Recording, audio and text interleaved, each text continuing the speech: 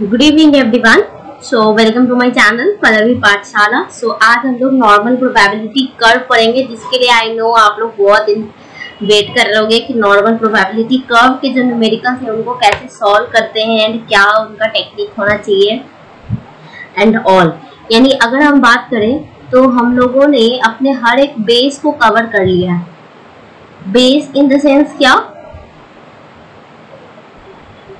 एक second base in the sense कि हम लोगों ने मीन निकालना सीख लिया है मीडिया निकालना सीख लिया है मोड निकालना सीख लिया है। स्टैंडर्ड डेविएशन कब यूज़ करते हैं? वेरिएंस कब यूज़ करते हैं? डेविएशन का मतलब क्या है? अगर कहीं x माइनस एम लिखा है तो क्या है? स्क्यूनेस क्या होता है? कर्टोसिस क्या होता है? स्क्यूनेस के लिए कौन सा मोमेंट यूज़ करते हैं? कर्टोसिस के लिए कौन सा मोमेंट यूज़ करते हैं?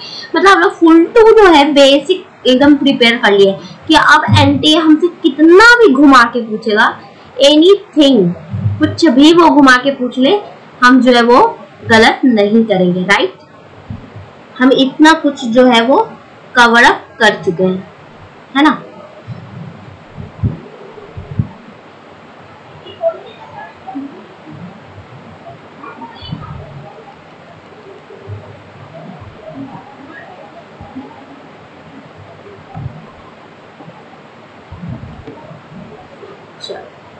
तो आज हम लोग जो है नॉर्मल प्रोबेबिलिटी कर्व पढ़ेंगे। फ्रेंड्स इसमें सब कुछ मैं आपको डिटेल बताऊँगी कि कब कब हम लोग नॉर्मल प्रोबेबिलिटी का यूज़ करते हैं। सारा एप्लीकेशन वगैरह हर कुछ बताऊँगी, ठीक है? इसलिए टेंशन नहीं लेना है। हो सकता है स्टार्टिंग में मैं कुछ भी बोलूँ, आपको समझ में नहीं आया बट आपको पता है कि आगे धीरे धीरे एक्सप्लेनेशन को मैं रिपीट करते चलती हूँ तो फिर वो आपको क्लियर हो जाता है, ठीक है? हम लोग शुरू करते हैं। रेडी है सब कोई?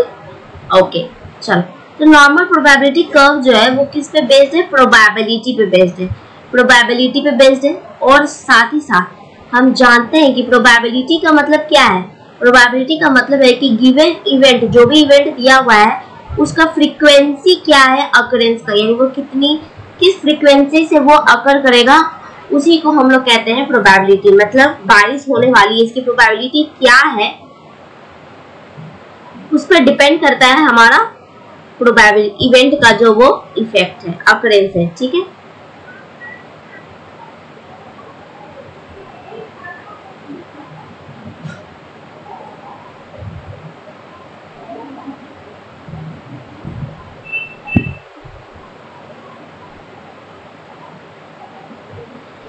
हिंदी में इसको क्या बोलते हैं? सामान्य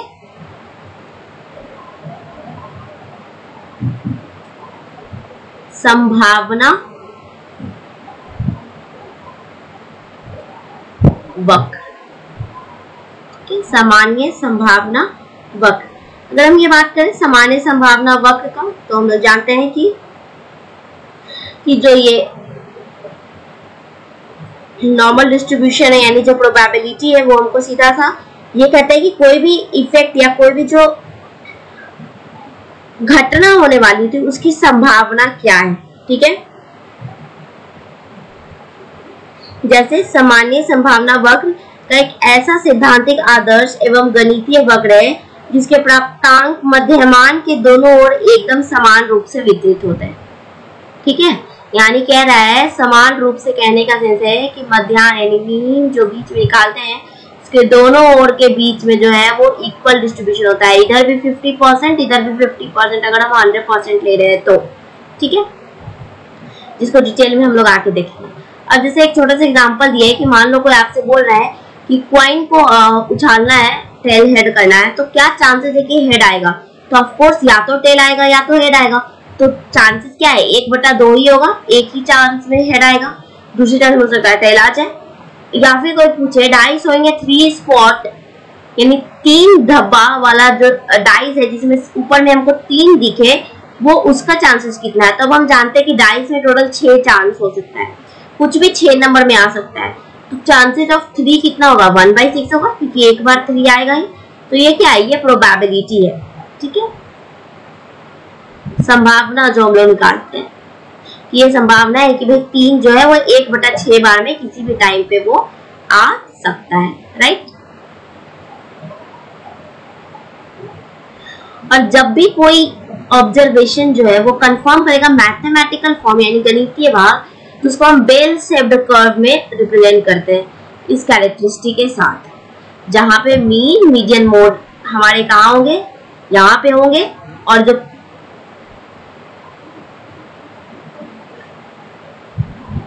और जो ये कर्व है, वो क्या होगा हमारा? वो इस तरह से होगा, ठीक है? इधर माइनस इंफिनिटी तक जाएगा वो और इधर प्लस इंफिनिटी तक जाएगा ठीक है?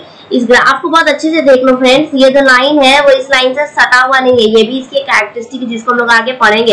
एंड ये पूछता है कभी कभी ये देखो, इसके लिए एक टर्म यूज़ किया जाता है जिसको हम लोग आगे देखेंगे, ठीक है?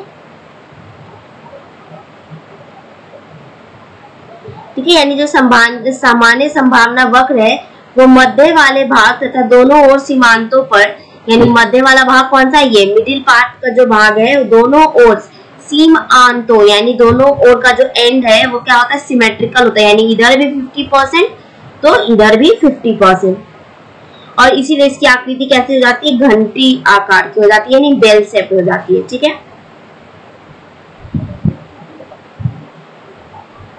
तो देखो यहाँ पहला पॉइंट यही लिखा है कि कर्व जो है वो सिमेट्रिकल होता है अराउंड इट्स वर्टिकल एक्सिस ठीक है around its vertical axis it implies that the size, shape and slope of the curve on one side of the curve is identical to that on the other side of of the curve यानी एक curve का जो एक side है, वो दूसरी side भी क्या होता है? आइडेंटिकल होता है, ठीक है? फिर दूसरा क्या बोल रहा है?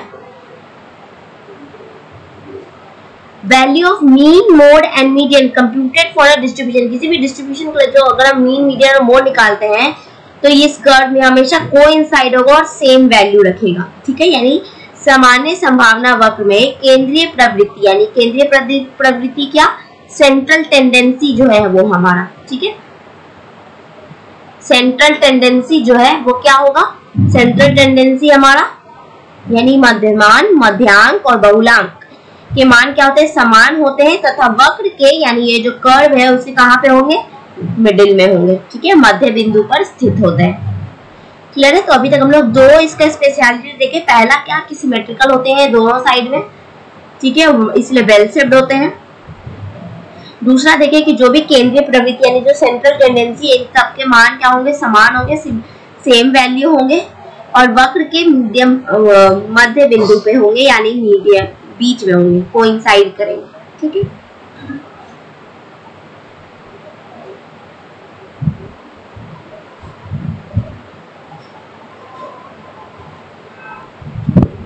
नीचे चलते हैं। Height of the vertical line अगर हम हाइट की बात करें वर्टिकल लाइन की कॉल्ड ऑर्डिनेट है ना? Is maximum at the mean and in the unit normal curve is equal to 0.3989 यानी सामान्य संभावना वक्र में मध्यमान बिंदु पर स्थित कोटि की ऊंचाई, यानी जो ये हम लोग देख रहे थे, इसमें जो ये ऊंचाई था, ये ऊंचाई, ठीक है? कोटि की जो ऊंचाई है, वो अधिकतम होती है तथा यह कुल आवृत्तियों की जो टोटल है है ना? टोटल जो आवृत्ति है, उसकी कितनी होती है? Point three nine eight nine होता है, ठीक है? तो ये याद नहीं रखना, बस ध्यान में रखना है। क्या कुछ पूछता नहीं है। ये वैसा बेसिक चीज़ है तो ये बस मैं बता रही हूँ, ठीक है? फिर नेक्स्ट जो है, अगर हम बात करें कि the curve has no bound ये बहुत वेरी वेरी इंपॉर्टेंट पॉइंट है। Curve has no boundaries in either direction for the curve never touches the base line no matter how far it is extended that is the curve is asymptotic. Important term है, ये पूछा हुआ है asymptotic extend from minus infinity to plus infinity ठीक है? यानी बोल रहे हैं कि सामान्य संभावना वक्र की जो रेखाएँ हैं, दोनों अंतिम छोड़ो यानी एंड्स पर, अगर हम इस फिगर को देखें तो देखो, दोनों अंतिम छोड़ो यहाँ पे, दोनों अंतिम छोड़ो यानी एंड पर एक्स अक्ष को एक्स अक्ष यानी एक्स एक्सिस ये जो एक्स एक्सिस है को न तो स्पर्श करती है और ना ही एक्स अक्ष के समानांतर होती है, ठीक है? यह धारणा इस वक्र में अनंत तक बनी रहती है, यानी ये जो है एकदम इंफिनिटी तक बनी रहती है, अनंत तक माइनस इंफिनिटी से प्लस इंफिनिटी आती है, यानी कि अगर हम बनाए कर तो ये तो ये तो मेरा टच हो गया टच नहीं होता, ठीक है? अगर हम कर्व बनाए तो इस तरह से टच नहीं करेगा, ठीक है? और इसी को हम लोग बोलते हैं एसिम्टोटिक ठीक है?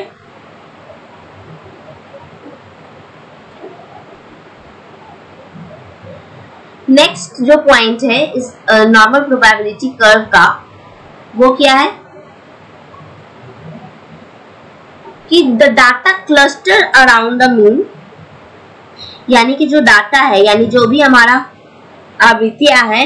वो मध्य वाले भाग में क्या होती है? अधिकतम होती है। क्लस्टर होती है ढेर हो जाता है। The percentage in a given standard deviation ठीक है? यानी जैसे हम मीन से, बीच, मध्य से, जैसे जैसे दाई ओर और बाई ओर बढ़ते हैं, यानी कि राइट साइड और लेफ़्ट साइड बढ़ते हैं तो आवृत्तियों का आकार एवं विस्तार, ठीक है? आकार और साथ ही साथ जो फैलाव है, वो भी क्या होने लगता है? धीरे धीरे कम होता चला जाता है। जैसे यहाँ लिखा standard deviation are greatest around the mean and decreases as one moves away from the mean ठीक है? क्लियर है? और धीरे धीरे क्या होता है? कम होता चला जाता है। और जो सिरे है, यानी जो एंड है, ये, यहाँ पे क्या हो जाता है? न्यूनतम हो जाता है। ठीक है? तो क्लियर है? ये तीन चार जो कैरेक्टरिस्टिक है, हमको याद रखना है एनपीसी का।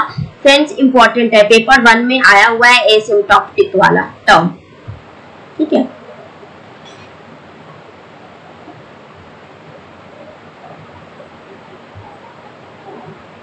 अब जैसे इसको समझते हैं तो देखो, हम सबको समझते हैं एक करके। पहले, सबसे पहले क्या बोले? कि जो मीन है, वहाँ पे डाटा क्लस्टर होगा तो देखो कितना सारा डाटा है मीन के पास। मध्य में होगा। इधर का हाफ़ पोर्शन जो है, वही इधर का हाफ़ पोर्शन होगा तो देखो, ये thirty four point one three है तो ये भी thirty four point one three ये थर्टीन पॉइंट फाइव नाइन है तो ये भी थर्टीन पॉइंट फाइव नाइन ये टू पॉइंट वन फाइव है तो ये भी टू पॉइंट वन फाइव है। ये पॉइंट वन थ्री है तो ये भी पॉइंट वन थ्री है तो ये क्या है? इक्वल डाटा है, ठीक है? फिर हम लोग क्या देखें कि ये जो हाइट है, वो सबसे मैक्सिमम हाइट होगा। ये वाला, जो कि 0.3989 के बराबर होगा। फिर हम लोग पढ़े कि जो अक्ष से, यानी ये जो एक्स एक्सिस से ये जो सीधा जा रहा है, यानी एंड जा रहा है, वो टच नहीं करता, वो कैसा होता है? एसिम्टोटिक होता है, ठीक है? फिर हम लोग क्या देखें कि जैसे जैसे इधर की ओर बढ़ेंगे मीन से इधर इधर बढ़ेंगे तो जो डाटा है या जो वैल्यू है वो क्या होना, घटना शुरू हो जाएगा। तो देखो यहाँ थर्टी फोर पॉइंट थ्री है, फिर और बढ़े तो थर्टीन पॉइंट फाइव नाइन आ गया, और बढ़े तो two point five one five हो गया, और बढ़े तो पॉइंट वन थ्री हो गया। क्लियर है? तो ये हमारा क्या है? जो डाटा है कैसा होगा? घटता चला जाएगा। ठीक है? और जो संभावना, यानी जो सामान्य वक्र है है ना? सामान्य संभावना नॉर्मल प्रोबेबिलिटी कर्व जो है, उसको एक्स एक्सिस में जो मानक विचलन होता है, यानी जो स्टैंडर्ड डिविएशन आप देखो यहाँ पे स्टैंडर्ड डिविएशन इसको कितने भाग में विभाजित किया जाता है? छह भाग में। तो देखो, तीन भाग इधर और तीन भाग इधर, है ना? सिक्स भाग में विभाजित किया जाता है। ठीक है? मध्यमान बिंदु से, यानी मीन पॉइंट से, तीन भाग दाई ओर की ओर जाता है और तीन भाग बाई ओर, यानी थ्री टाइप पार्ट्स जो है वो इधर और थ्री पार्ट्स इधर जाते हैं, ठीक है? और जो डिफरेंसेज है वो किस टर्म में होता है, वो इस तरह की, इस तरीके से होता है कि यानी मीन से इधर plus one degree deviation mean से ये प्लस टू और मीन से ये प्लस थ्री और इधर भी वही मीन से माइनस वन मीन से माइनस टू और मीन से माइनस थ्री होता है, ठीक है? और ये तो हम लोग देख ही लें कि दोनों ओर जो सामान्य विभाग पे वो क्या होता है? फिफ्टी फिफ्टी परसेंट होता है। फिफ्टी परसेंट इधर फिफ्टी परसेंट इधर। राइट आप इसको ऐड करोगे तो फिफ्टी के अप्रॉक्स आ जाएगा। देखो, तीस, दस, चालीस और चार, तीन, सात forty seven forty eight forty nine ये तेरह तेरह, छब्बीस और ये जोड़ेंगे तो हमको लगभग किसके अराउंड हो जाएगा। फिफ्टी परसेंट के अराउंड हो जाएगा। यानी फिफ्टी परसेंट इधर और फिफ्टी परसेंट इधर होता है। ठीक है? अभी हम लोग सिर्फ़ बेसिक समझ रहे हैं। आगे हम लोग और देखेंगे।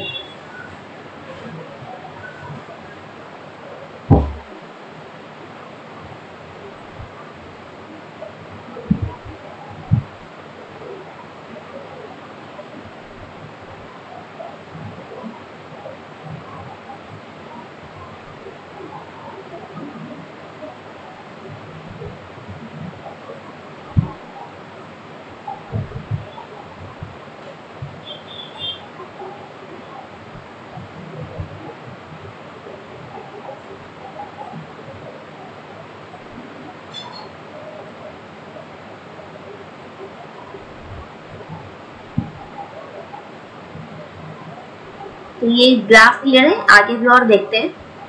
अब देखो फ्रेंड्स यहाँ लिखा है plus one sigma plus two sigma plus three sigma plus four minus one minus two minus three छः छः भाग में ही होता है, ये एक्स्ट्रा दिया हुआ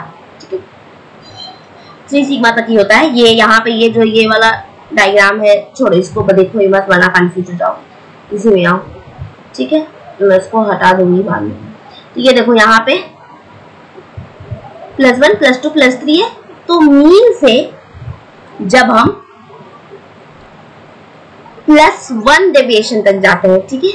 एम से प्लस वन डेविएशन तक जाते हैं तो वो हमको thirty four point one three percent denote करता है, ठीक है? यानी टोटल का ये thirty four point one three part है। मीन से जब हम प्लस यानी वन सिग्मा से प्लस टू सिग्मा जाते हैं तो वो सिर्फ़ thirteen point five nine denote करता है।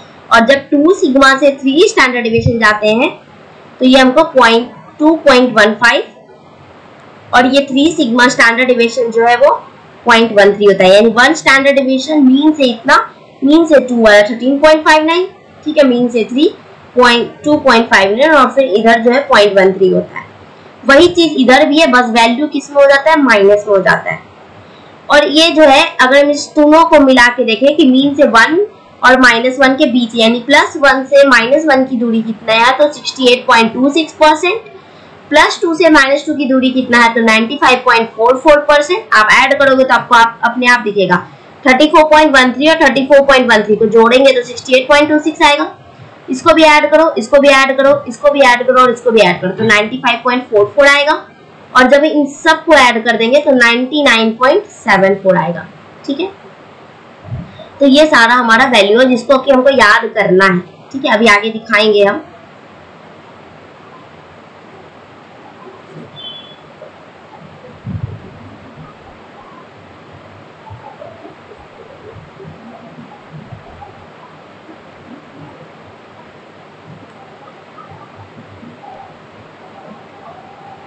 तो यहाँ लिखा है मीन से प्लस माइनस वन सिग्मा तक जाएँगे तो वैल्यू कितना होगा? थर्टी फोर पॉइंट ये वैल्यू याद रखना है। परसेंटेज एरिया यानी हमारे जो मीन के अराउंड जो परसेंटेज एरिया वो कितना होना चाहिए? जब प्लस वन से प्लस टू जाते हैं तो कितना है? थर्टीन पॉइंट फाइव नाइन और जब प्लस टू से प्लस माइनस थ्री जाते हैं तो टू पॉइंट वन फाइव ठीक है? और ये डाटा तभी ट्रू होगा जब नॉर्मल डिस्ट्रीब्यूशन होगा। और अगर हम बोल रहे हैं कि एक स्टैंडर्ड डिविएशन के के विदिन यानी बीच में, यानी जो हम लोग ग्राफ दिखाए थे, इसमें देखो यहाँ बोले अगर कि वन स्टैंडर्ड डिविएशन के बीच में हमारा कितना डाटा फॉल होता है तो वो ये होगा, जो कि कितना है? 68.26 अगर हम बोले टू स्टैंडर्ड डिविएशन के बीच में कितना डाटा फॉल होता है तो वो कितना होगा? 95.44 ठीक है? तो वही लिखा है। 95.44 कितना? टू स्टैंडर्ड डिविएशन के बीच में।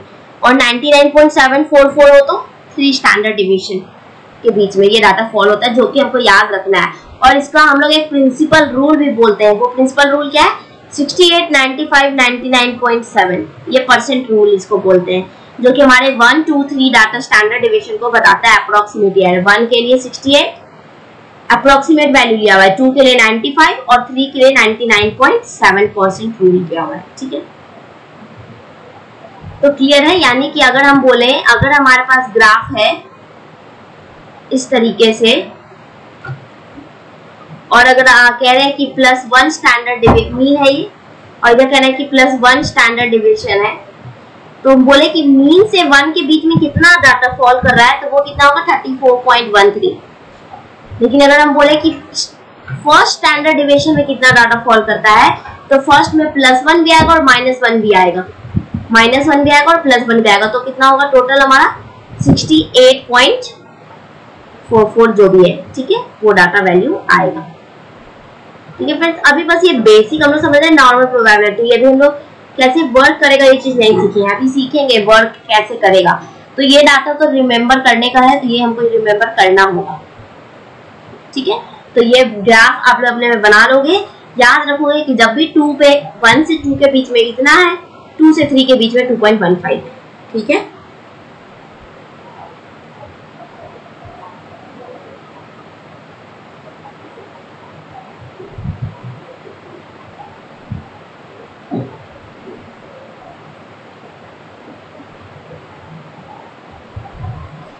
अब हम जो है, इसका एप्लीकेशन देखेंगे। अब जो हम लोग मेन जो कॉन्सेप्ट है, उसमें इंटर करेंगे।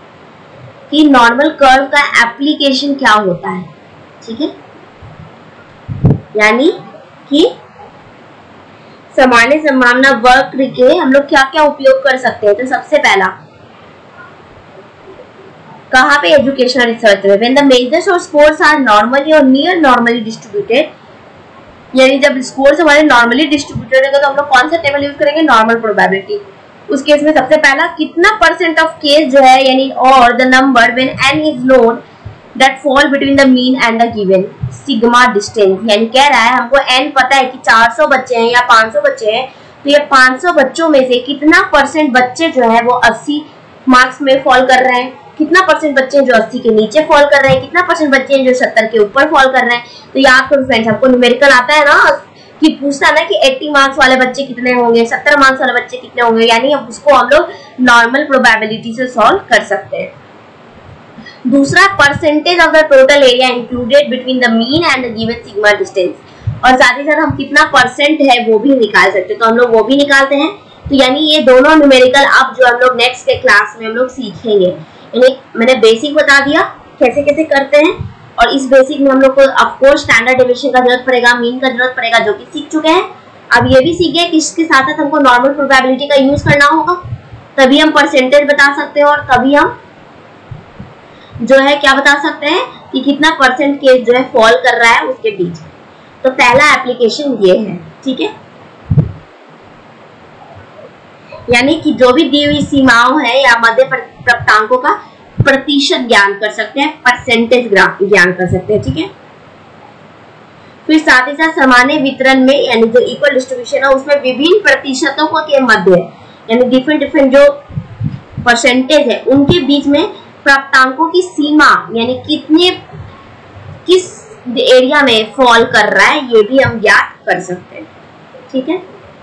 दूसरा बोला है normal curve use to convert a raw score into standard score friend कल ही हम लोग सीखे हैं ना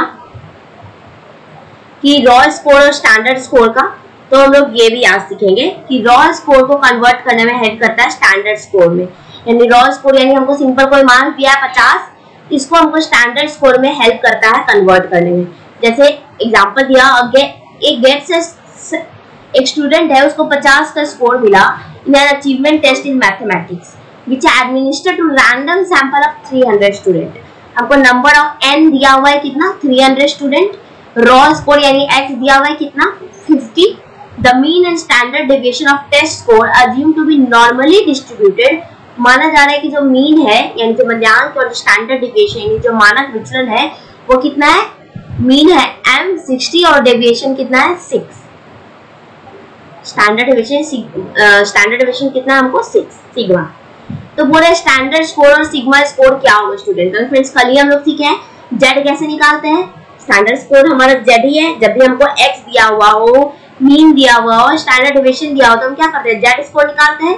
तो जेड कैसे निकालेंगे? एक्स माइनस एम एक्स क्या है यहाँ? Fifty raw score minus sixty हमारा मीन डिवाइडेड बाई सिग्मा ये सिग्मा है। तो कितना हुआ? सिक्स हुआ।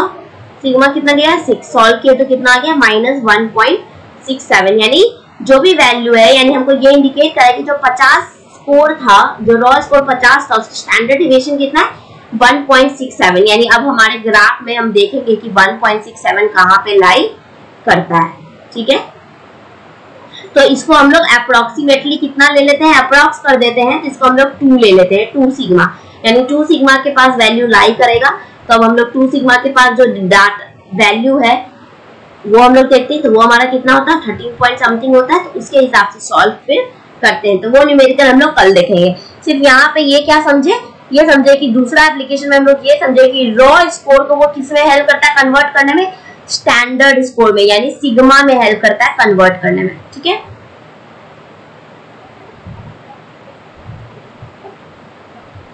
फिर नेक्स्ट हमको हेल्प करता है नॉर्मल कर्व किसमें is useful in calculating the percentile rank of score percentile rank का मतलब क्या? ये भी अभी देखेंगे फ्रेंड परसेंटाइल रैंक का मतलब है कि हमारा स्कोर मान लो हम बोले कि आप 80 परसेंटाइल यानी आपके नीचे इतने बच्चे फॉल कर रहे हैं। आप यहाँ पे आपसे नीचे 80 परसेंट बच्चे हैं। आपका ये परसेंटाइल है। बिलो द बताता है तो वो भी हम लोग अभी पढ़ेंगे डिटेल में परसेंटाइल रैंक क्या होता है। ठीक है? For normalising a given frequency distribution the normal curve is use यानी हमारा अगर कोई फ्रीक्वेंसी दिया हुआ उसको नॉर्मलाइज करना है तो हम लोग वहाँ पे भी नॉर्मल कर्व यूज़ करते हैं। यानी हम लोग ये क्या दे, क्या देखें? अगर आपसे न्यूमेरिकल में बोलेगा कि आप बताओ कि अस्सी मार्क्स वाले बच्चे कहाँ लाइक करेंगे तो उसके लिए भी नॉर्मल प्रोबेबिलिटी कर्व बोलेंगे। अगर हमको कोई रॉ स्कोर दिया हुआ है और बोलेगा कि स्टैंडर्ड स्कोर निकालो तो उसके लिए भी एनपीसी यूज़ करेंगे। कोई बोलेगा कि इस स्टैंडर्ड स्कोर से हमको ये बताओ कि इसका परसेंटाइल रैंक कितना है या कितने परसेंट बिलो है। तो उसके लिए भी एनपीसी यूज़ करेंगे, यानी ये सारे न्यूमेरिकल में हम लोग एनपीसी यूज़ करेंगे, ठीक है?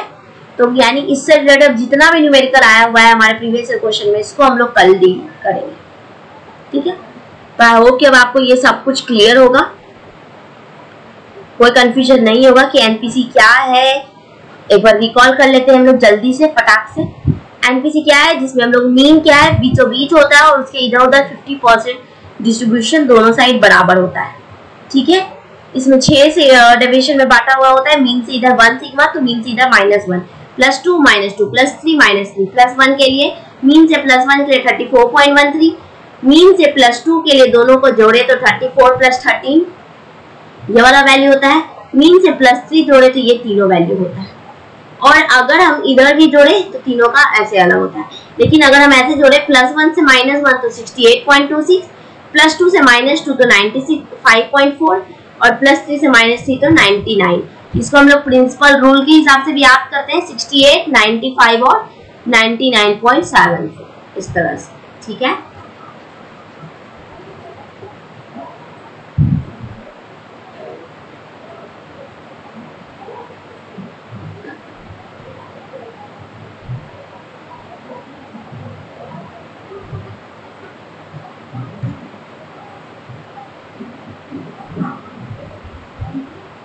बाकी हम लोग ये देख लिया। अब ये जो हम लोग अभी जस्ट पढ़े कि जेड स्कोर भाई जेड स्कोर है टी ये सब कैसे निकालेंगे? यानी रॉ स्कोर से कैसे कन्वर्ट करेंगे स्टैंडर्ड स्कोर में?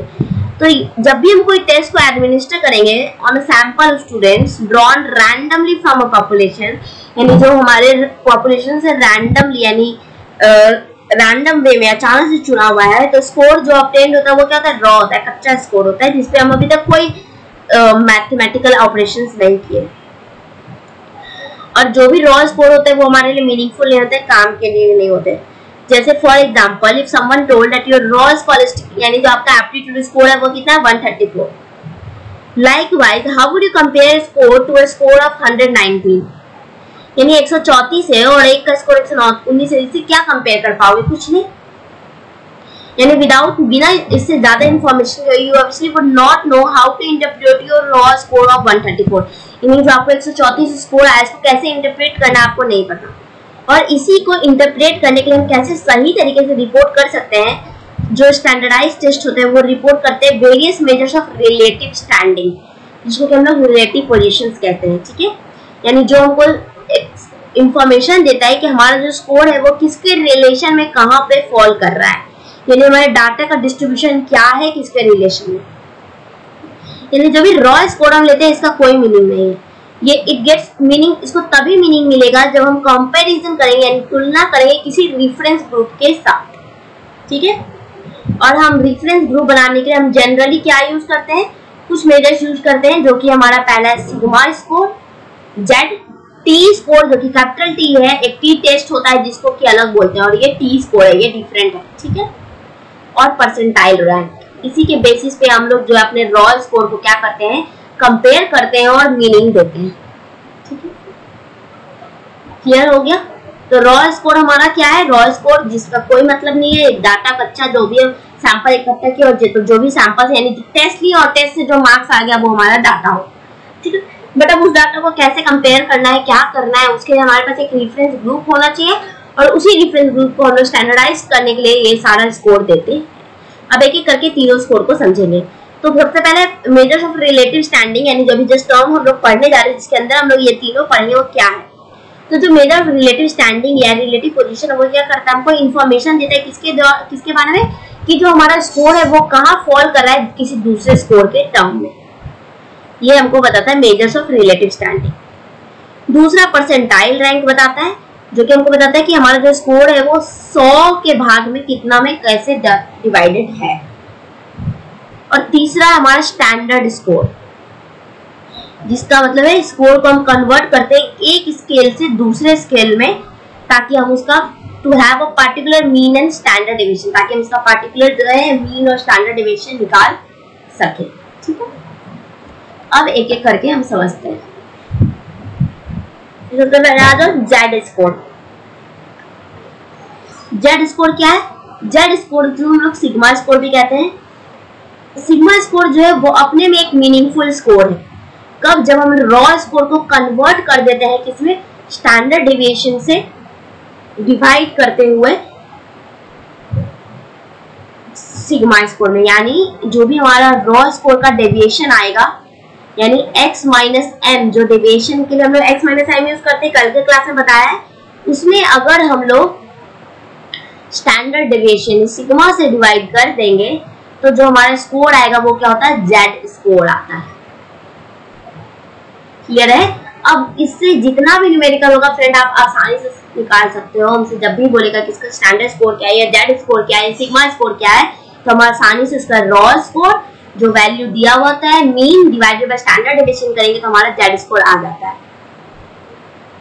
जो जेड स्कोर है वो हमको बताता है कि जो भी हमारा standard how many standard division और raw score is from the mean यानी हमारे मीन से जो रॉ स्कोर है, वो स्टैंडर्ड कितने स्टैंडर्ड डिविजन तक डेविएट कर रहा है। यानी मीन से प्लस वन सिग्मा जा रहा है या प्लस टू सिग्मा जा रहा है या माइनस वन सिग्मा जा रहा है, ये वो बताता है, ठीक है? यानी अगर रॉ जो है रॉ स्कोर जो है हमारा मीन से कम है, ठीक है? अगर रॉ स्कोर हमारा मीन से कम है तो जो हमारा जेड स्कोर होता है, वो हमेशा क्या होगा? नेगेटिव होगा। लेकिन अगर रॉ स्कोर अवर ये पॉइंट याद रखने वाला है तो जेड स्कोर पॉजिटिव होगा। जैसे मान लो, हम बोल रहे हैं रॉ स्कोर 50 है मीन 60 है, और स्टैंडर्ड डिविएशन 10 है। तो बताओ इसका जेड स्कोर क्या होगा? तो हम लोग ऐसे ही करेंगे 50 डिविएशन निकालेंगे तो 50 माइनस सिक्सटी क्योंकि ये रॉ स्कोर था, ये मीन था, और ये स्टैंडर्ड सिग्मा है। Fifty minus sixty upon ten करेंगे। तो fifty minus sixty upon ten करते हैं तो कितना आएगा? माइनस टेन अपॉन टेन यानी माइनस वन सिग्मा तो हमको ये क्या बता रहा है? मीन से माइनस वन की ओर हमारा जो डेविएशन है। और माइनस आया है क्योंकि रॉ स्कोर क्या है? बिलो द मीन मीन से कम है, इसीलिए जेड स्कोर क्या आ गया नेगेटिव लेकिन वही अगर इसको सेवेंटी ले ले, तब मेरा मीन क्या आता? प्लस टेन तो डिवेशन भी क्या हो जाता? प्लस वन सिग्मा तो रॉ स्कोर जब अबव द मीन होगा तो जेड स्कोर क्या होगा? पॉजिटिव होगा. ठीक है?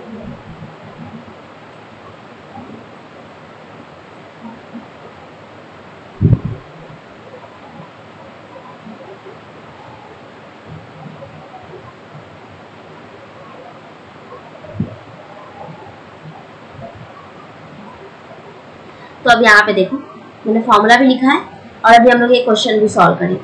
जेड स्कोर का मतलब क्या है? Raw score minus mean upon standard deviation यानी x माइनस एक्स बार किए मीन को m भी आप लिख सकते हो अपॉन स्टैंडर्ड डिविएशन अब देखो, एक टेस्ट आपके सामने है, एक दूसरा टेस्ट है।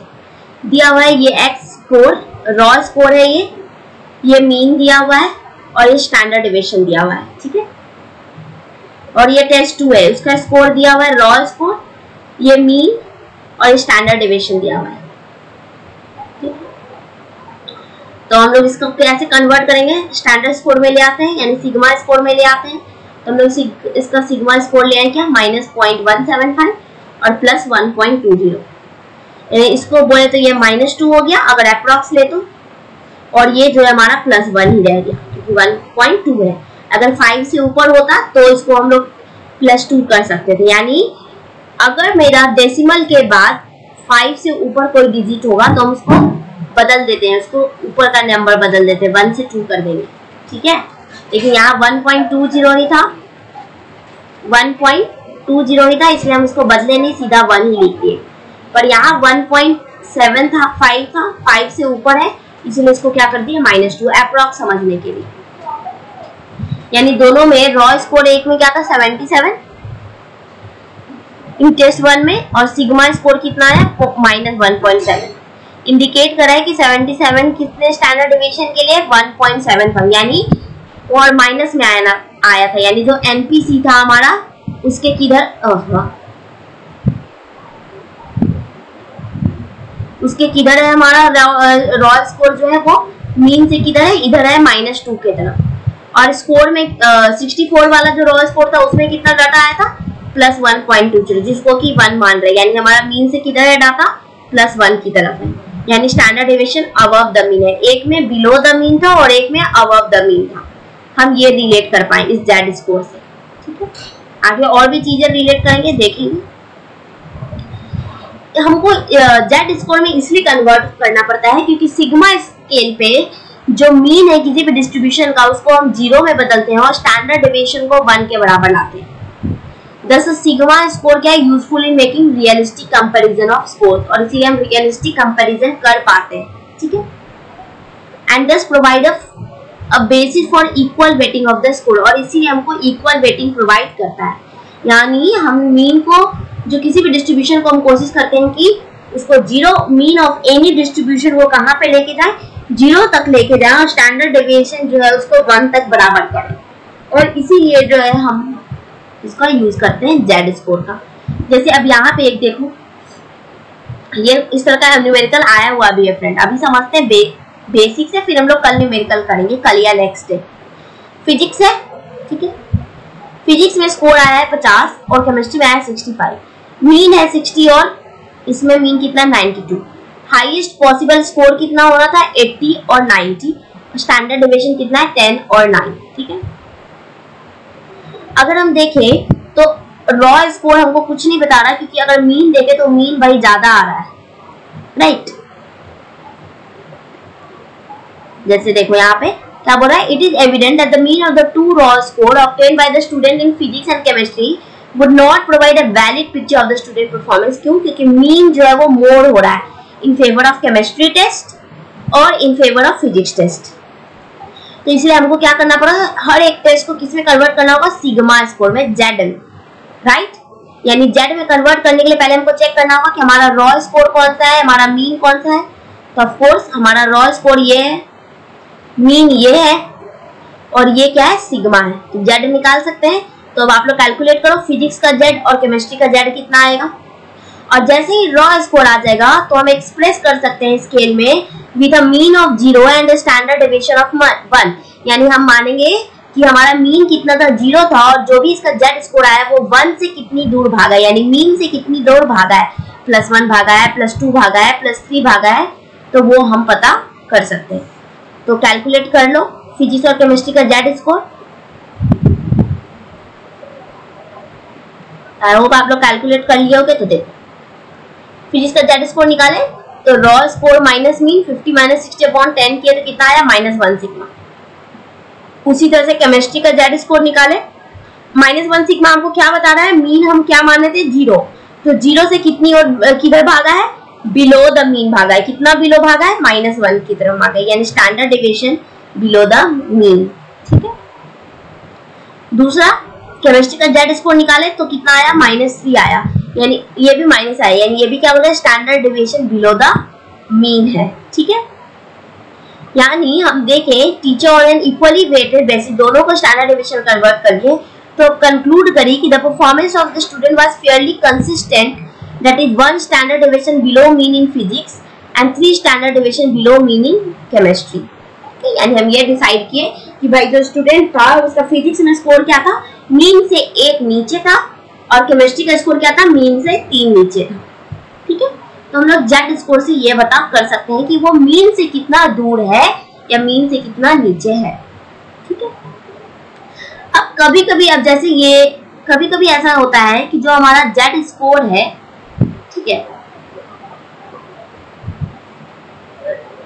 डेसिमल्स और नेगेटिव्स में आता है। जैसे अभी हम लोग देख रहे थे तो इस तरह को अवॉइड करने के लिए हम क्या करते हैं? और नया स्टैंडर्ड स्कोर यूज़ करते हैं, जिसको कि हम बोलते हैं टी स्कोर और टी स्कोर को हम कैसे एक्सप्रेस करते हैं? टेन जेड प्लस फिफ्टी समझ रहे हो फ्रेंड ये जेड क्या है? हमारा सिग्मा स्कोर है. मान लो हमको कहीं पे दिया हुआ है डाटा में क्वेश्चन में दिया है, आपके पास मीन दिया है रॉ स्कोर दिया है और स्टैंडर्ड डेविएशन दिया हुआ है. और कह रहा है इसका टी स्कोर बताओ. तो हम क्या करेंगे? पहले इतने से क्या निकाल लेंगे? जेड निकाल लेंगे. ठीक है? जेड कैसे निकालेंगे? Again raw score minus mean upon standard deviation Z निकल गया। अब जेड के के वैल्यू को हम यहाँ पे पुट कर देंगे। T equals to ten Z plus fifty कर देंगे। तो हमारा टी स्कोर निकल जाएगा। ठीक है? तो ये भी एक न्यूमेरिकल हमारे पास आया हुआ था। तो हम लोग इसको भी अब सीख गए हैं। तो इससे भी रिलेटेड जो क्वेश्चन है, इसको सॉल्व करेंगे कल के क्लास में। अब सिर्फ़ बेसिक देख रहे हैं।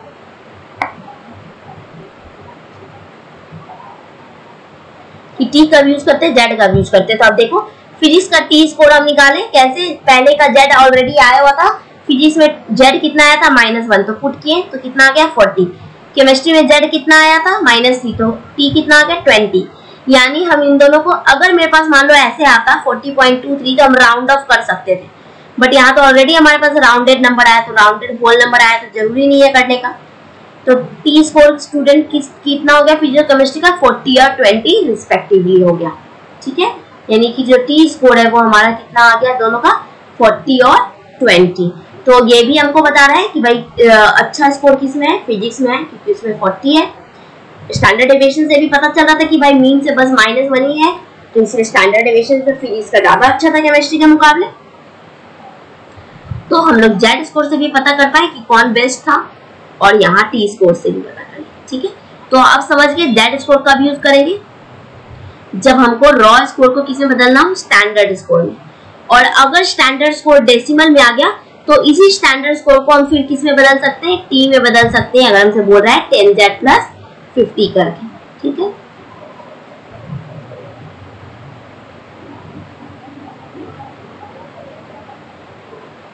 नेक्स्ट है हमारा परसेंटाइल रैंक परसेंटाइल रैंक का मतलब क्या है? जब हम किसी भी डिस्ट्रीब्यूशन को सौ इक्वल पार्ट में बांटते हैं, ठीक है? परसेंटाइल रैंक बोलता है कि the point below which a given percentage of scores fall यानी किसी परसेंटाइल के लिए, जैसे आप लोग अन अकेडमी का अगर आप लोग देखते हो तो आप देखते हो कि आपको दिखाता हो कि इतना परसेंटाइल इस तरह का ग्राफ आपको दिखाता है तो वो क्या है? वो एनपीसी है रेक्टेंगुलर फॉर्म में दिखाता है है ना? परसेंटाइल रैंक तो वो क्या है हमारा? बता रहा है तो उसमें हम लोग देखते हैं कि आपका स्कोर कितनों के ऊपर है, यानी आपके नीचे कितने फॉल करते हैं। जैसे अगर बोल इफ़ द एट्टी परसेंटाइल यानी आपका परसेंटाइल कितना है एट्टी और स्कोर कितना है सिक्सटी है, यानी eighty percent of the score जो है वो बिलो सिक्सटी है। ठीक है? फॉल बिलो सिक्सटी यानी अस्सी परसेंट के जो बच्चे होंगे अस्सी परसेंट जो स्कोर है, वो सिक्सटी मार्क्स के नीचे है। यानी आपको 60 मार्क्स आया और परसेंटाइल आपका 80 यानी इतने बच्चे जो है 80 परसेंट स्कोर जो है, वो 60 नंबर से कम है। ठीक है? उसी तरह से अगर 50 परसेंटाइल है तो इसका मतलब 50 परसेंट जो है, वो इसके बिलो है। ठीक है? 50 परसेंट स्कोर जो है, आपके बिलो फॉल कर रहा है। यानी परसेंटाइल रैंक हमको ये बताते कि मेरे नीचे कितने बच्चे हैं। ठीक है? जैसे अगर मान लो, मेरा एननेट के एग्ज़ाम में 99 परसेंटाइल आया है इसका मतलब मेरे नीचे जो है 99 परसेंट बच्चे हैं। उनसे मैं 99 परसेंट ऊपर हूँ। ठीक है? यानी परसेंटाइल रैंक कैसे इंटरप्रेट करते हैं? Score in a reference group एक रेफरेंस ग्रुप लेते हैं that fall below a particular raw score यानी जो भी हमारा रॉ स्कोर है, उसके नीचे कितने फॉल कर रहे हैं? ठीक है? यानी यहाँ पे ये हमको हेल्प करता है इंडिविजुअल को ये इंटरप्रेट करने में टेस्ट स्कोर को दूसरे के स्कोर्स के साथ। जैसे आपका परसेंटाइल होता है और आप देखते हो ना, लिखता है कि टॉपर से आप कितने परसेंट बिलो हो और एवरेज बच्चों से कितने परसेंट अबव हो। तो इस तरह से हमको बताता है है ना? या एवरेज आपसे कितने बच्चे परसेंट बिलो हैं तो ये हमको बताता है परसेंटाइल स्कोर ठीक है? The reference group is often referred to as the norm group or the standardization sample. Reference group का मतलब क्या है? जिनको हम डिसाइड किए कि भाई इनके साथ रिलेट करेंगे। आप मान लो आपका हमको अन अकेडमी का जो टेस्ट है, उसको डिसाइड करना है कि आपका परसेंटाइल कितना है। तो उसके लिए हम उन्हीं बच्चों को पकड़ेंगे, उन्हीं नॉर्म या उन्हीं रेफरेंस ग्रुप को पकड़ेंगे जो इन्होंने वो भी वो टेस्ट दिया होगा। तो यानी परसेंटाइल ग्रुप में क्या होता है परसेंटाइल से हम देखते हैं हमारे नीचे कितने बच्चे हैं, ठीक है? यानी रेफरेंस ग्रुप क्या हो सकता है, हमारा नेशनल सैंपल हो सकता है चिल्ड्रन हो सकता है, किसी पार्टिकुलर एज का, सारे स्कूल हो सकते हैं, एक डिस्ट्रिक्ट के कोई भी हो सकता है, ठीक है? यानी जनरल रूल की बात करें तो परसेंटाइल रैंक हम तब यूज़ करते हैं जब रेफरेंस ग्रुप बहुत बड़ा हो and representative of a group of interest to you यानी रेफरेंस ग्रुप बहुत बड़ा है और आप जिसके लिए अपना रैंक को मेजर करना चाहते हैं परसेंटाइल देखना चाहते हैं, वो उसी इंटरेस्ट का हो. लाइक एनटीए वाले जो हैं, वो आपका परसेंटाइल आपके एजुकेशन स्ट्रीम के ही स्कोर पे निकालेंगे. ये नहीं कि जो कॉमर्स के बच्चे उनसे रिलेट करेंगे, नहीं. आपका इंटरेस्ट एजुकेशन आपका मार्क्स एजुकेशन से रिलेट किया जाएगा तो उसी इंटरेस्ट में किया जाएगा और परसेंटाइल में निकाला जाएगा क्योंकि ग्रुप बड़ा है, ठीक है?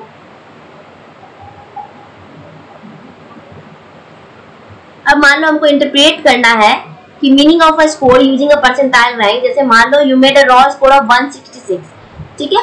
एक 166 आपको स्कोर आया किसमें? ग्रेजुएट रिकॉर्ड एग्जामिनेशन में जीआरई एग्जामिनेशन जो कि वर्बल रीजनिंग टेस्ट था। ठीक है? और इस स्कोर का जो परसेंटाइल रैंक था, वो 96 है। इसका मतलब क्या है?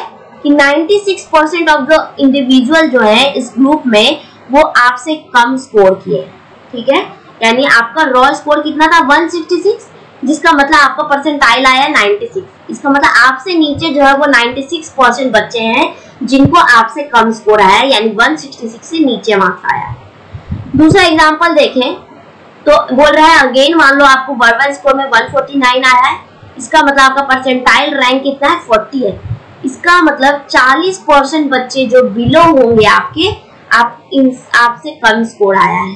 149 से मार्क्स कम आया है 40 परसेंट बिलो बच्चों का, क्योंकि आपका परसेंटाइल कितना आया 40 तो आप जो है 40 परसेंट से नीचे हैं और आपसे ऊपर 60 परसेंट के बच्चे ठीक है? आपसे नीचे 40 परसेंट के जो बच्चे हैं, उनको कितना मार्क्स आया है? 149 से कम आया है। यानी 148 हो सकता है 147 हो सकता है। और आपसे ऊपर जो 60 परसेंट वाले बच्चे हैं, वो आपसे ज़्यादा मार्क्स लाए हैं। 149.5 हो सकता है 149 हो सकता है। तो ये सारा मार्क्स जो है वो हो सकता है। ठीक है? तो आई होप अब आपको सब कुछ क्लियर हो गया होगा। परसेंटाइल रैंक क्या है जेड स्कोर क्या है टी स्कोर क्या है, हर कुछ। ठीक है? अब हम लोग जल्दी से एक बार सबको रिकॉल कर लेते हैं। आज क्या क्या पढ़े हैं।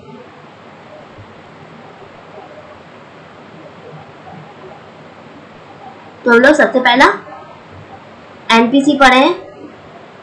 जिसमें लोग पढ़े कि ये टच नहीं करता है। ठीक है? ये क्या है? ये हमारे ग्राफ को टच नहीं करेगा। एसिम्टॉक्टिक होता है, ठीक है? दूसरा पढ़े मीन इधर होता है और इधर इधर डेविएशन भागता है plus one plus minus one plus two minus two plus three minus three है ना? फिर पढ़े प्लस वन से माइनस वन का डिफरेंस कितना होता है? सिक्सटी एट पॉइंट है ना? फिर प्लस टू से माइनस टू का कितना होता है?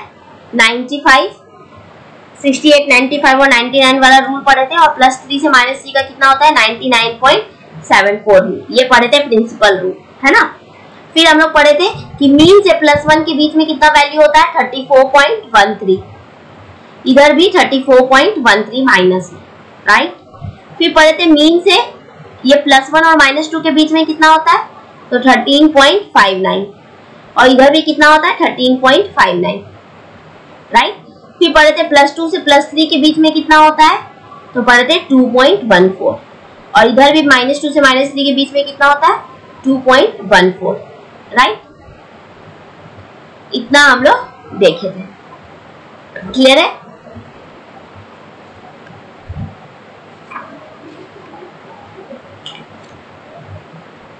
फिर देखिए, दोनों तरफ़ 50 50 परसेंट होता है। ऐड करेंगे तो 50 50 परसेंट हमको आ जाएगा। ठीक है?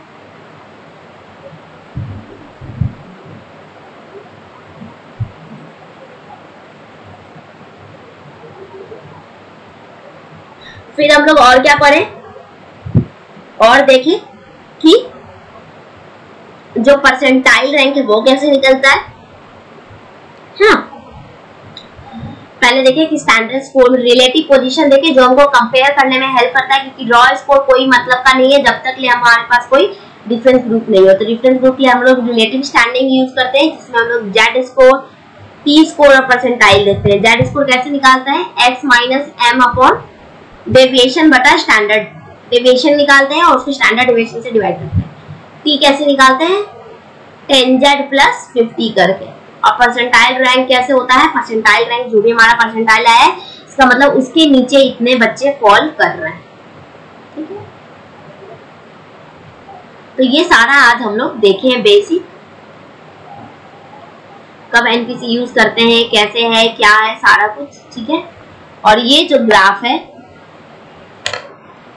इसको ज़रूर याद रखना। ये ग्राफ, ठीक है? क्योंकि ये ग्राफ आपके लिए बहुत इंपॉर्टेंट है राइट